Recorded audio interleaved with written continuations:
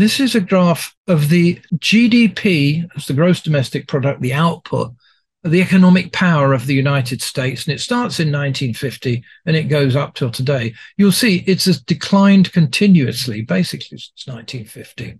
It has a series of crises which correspond to well known events. I'll give you one example.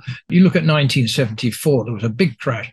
Growth went down from 6% to 2% and stayed between 2% and 3% for, for a long time. And there was a big economic slump in 1974. It was very famous at the time. It was the first occasion on which there had been a slump of something like the scale of 1929 in the West.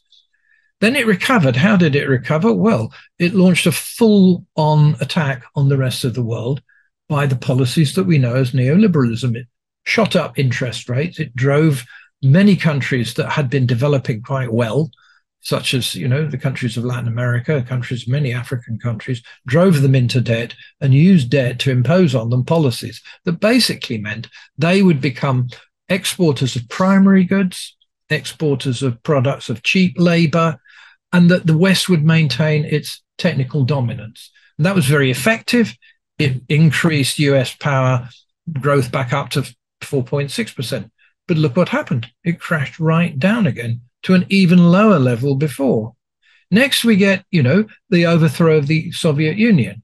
Big gain, big temporary leap forward, crashing the, the Soviet economy, which is true cause of the rise of Putin because you know it was a terrible thing for the for the Russian economy as as one of the main architects Jeffrey Sachs now admits.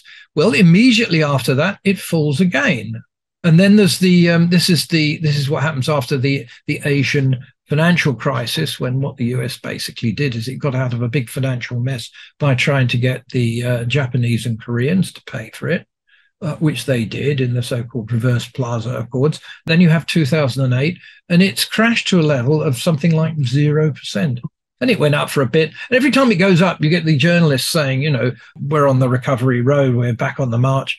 But if you look at the way that they describe the figures, the figures don't support the theory because the period in which it was supposed to have been doing wonderfully, it was actually expanding at a rate of 2.5%.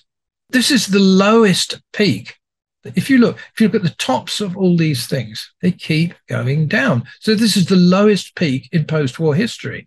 So the United States is in historically a very bad position economically. And that's what's driving what it does.